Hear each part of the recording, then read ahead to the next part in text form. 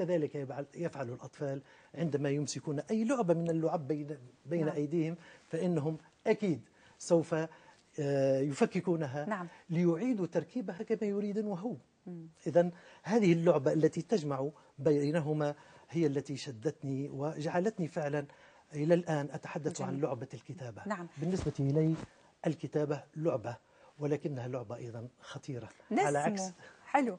نسمو إلى هذه اللعبة. نذهب إلى سماء هذه اللعبة. وقد تنقلت بين نجوم كثيرة وتكلمت كثيرا بأنك سليل كل هؤلاء الذين ذكرتهم في البدايات من القراءات. عائلتك. في القراءة بين المتصوفة والجاهليين وقد وقفت كثيرا عن طرف ابن العبد وقد عشقته كثيرا ثم ذهبت إلى المتنبي إلى الشعراء المعاصرين حيث تحاضر اليوم الدكتور محمد الغزي أكاديميا في الجامعة. من الذي شدك في البداية؟ الشاعر الذي أيقظ فيك لنقل شرارة حب الشعر. صحيح إن لي آباء كثيرين وهؤلاء الآباء منهم من عاش في العصر الجاهلي ومنهم من عاش في صدر الإسلام ومنهم أيضا هناك من الشعراء ومن الآباء الذين يعيشون بيننا اليوم.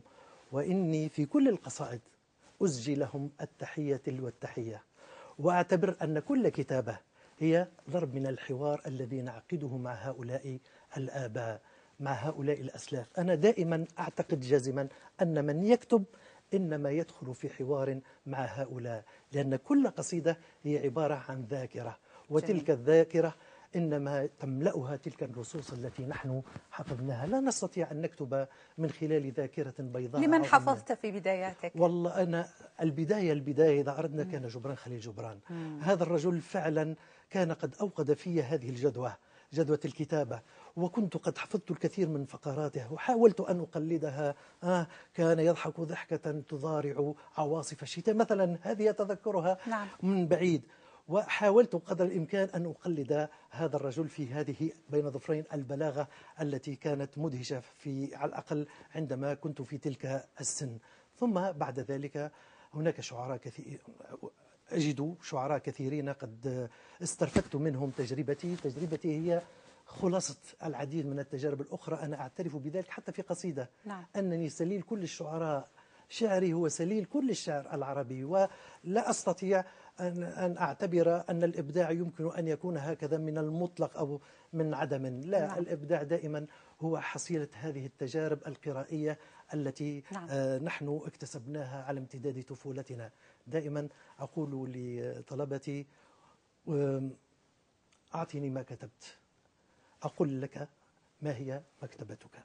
فالقصيدة ماذا قرأت أو إيه، ماذا أو ماذا ماذا كتبت تختزن أيضا. ذاكرتك؟ فتلك الكتابة دائما نعم. وراءها مكتبة.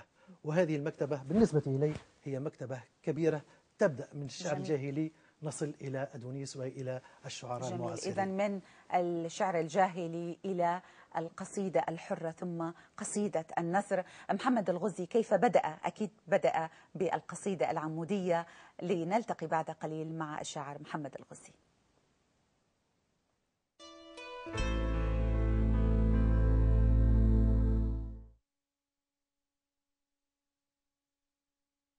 لاحظت صور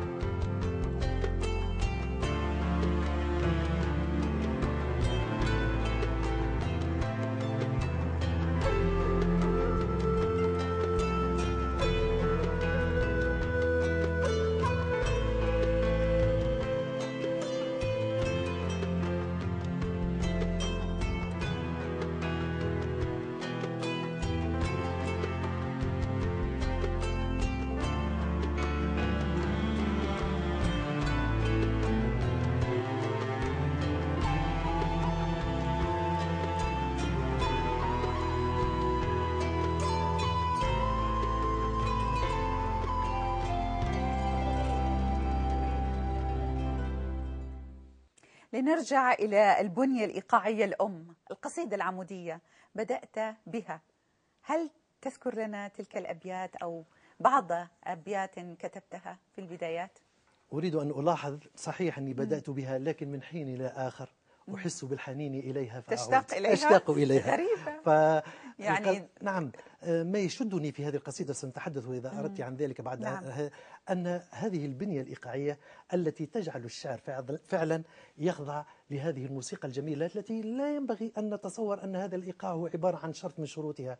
أنا أقول دائما الإيقاع هو عبارة عن بنية تخيلية مثلها في ذلك مثل الصورة ومثل الرمز. جميل. هذا ال- الإيقاع كان عند العرب وقد ذكر ذلك الكثير من النقاد القدامى أن الإيقاع ليس حلية للقصيدة لا. إنما هو عبارة عن معنى لم تستطع اللغة التعبير عنها. فلذلك تركت المجال للإيقاع وللموسيقى أن تقول ذلك جميل. المعنى. آه، أذكر على سبيل المثال سيخلعون عليه إذا جاء بابها.